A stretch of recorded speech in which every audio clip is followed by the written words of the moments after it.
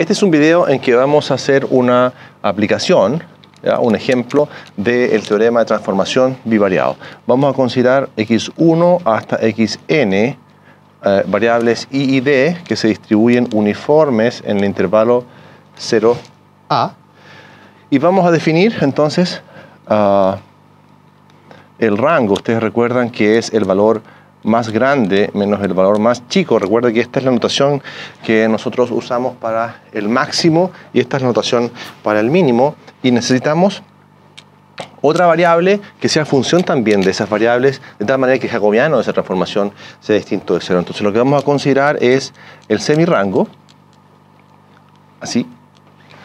Por lo tanto, esta transformación es lo que uno llamaría el G1 y G2. Entonces nosotros sabemos que para obtener la distribución conjunta de R y B, necesitamos la distribución conjunta de X1 y XN. Y esa distribución conjunta nosotros la hemos estudiado en videos anteriores. Y yo voy a colocar acá la expresión que obtuvimos, en particular si uno eh, particulariza esa distribución para eh, la, distribución para la distribución uniforme, obtiene la siguiente expresión. Esto es n por menos 1, xn menos x1, partido por a elevado a n, donde por supuesto 0 menor que x1, menor que xn, menor que a. Luego, lo que hay que hacer es obtener de acá, despejando este, como es un sistema lineal, debemos obtener la inversa de la función.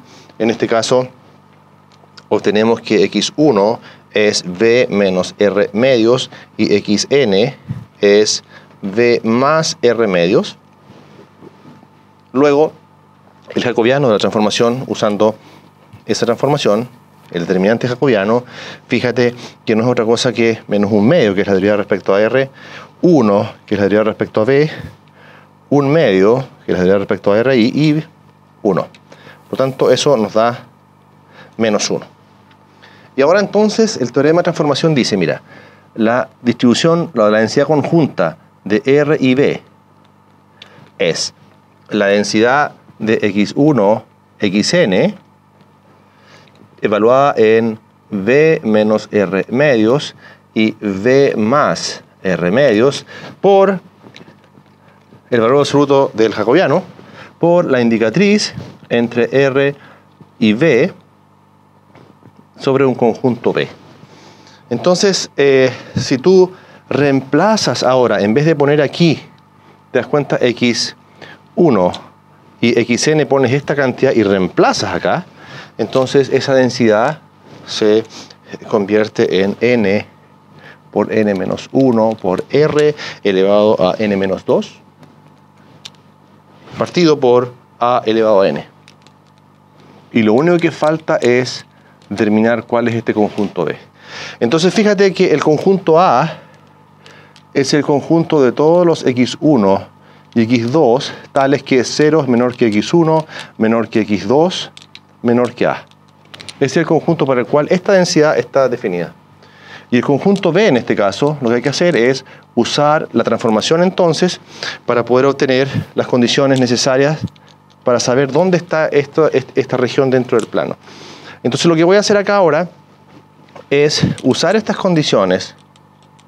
Claro, el R está entre 0 y A y el V está entonces entre V medios, eh, entre R medios y entre A menos R medios.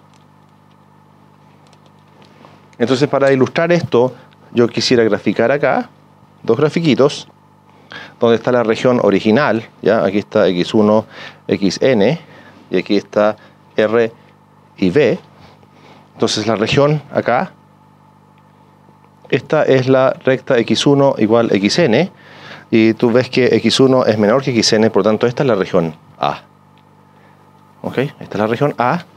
Y acá, en este caso, esto es A, y esto es A. Aquí tenemos A, aquí tenemos, tenemos 0, y acá está A medios, y acá está A. Entonces, en este caso, esto se transforma. Recuerde que si es una región cerrada acá, tiene que ser una región cerrada acá porque la función es continua y este es un compacto. Entonces te queda de esa manera, donde la curva esta es v igual r medios Y esta curva de arriba es B igual R es A menos R medios. Eso, A menos R medios.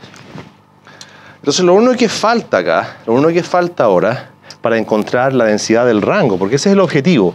¿Cuál es la densidad del rango? ¿Ok?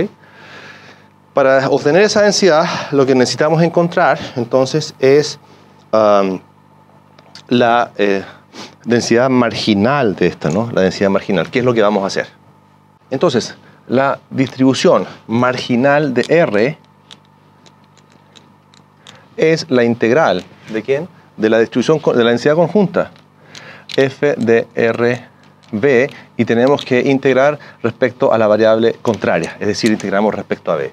Pero ¿dónde se mueve b? Si te das cuenta en este gráfico estamos integrando de esa forma, entre esa recta y esa recta, es decir, b va entre r medios y a menos r medios. Por lo tanto, calculamos acá, esto nos queda R medios y A menos R medios.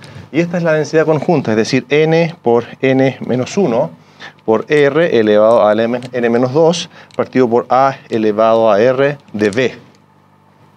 ¿Okay? Entonces recuerda que esta región B ya la obtuvimos, que es exactamente esa región. Por lo tanto, esta integral es muy simple porque no involucra B.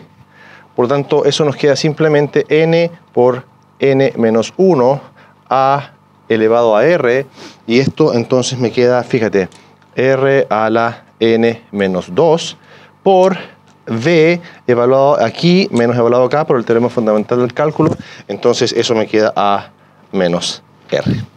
Y eso es válido cuando el r está entre 0 y a. Por lo tanto, esta es la densidad marginal de r. Recuerda que nosotros lo que hicimos entonces, ¿cuál fue el método? A partir de esta f de x1, x2, usamos el teorema de transformación para obtener esta f de rb.